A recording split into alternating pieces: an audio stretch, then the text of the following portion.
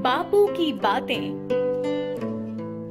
जो मनुष्य किसी के काम का बोझ हल्का करता है, वो निकम्मा नहीं है।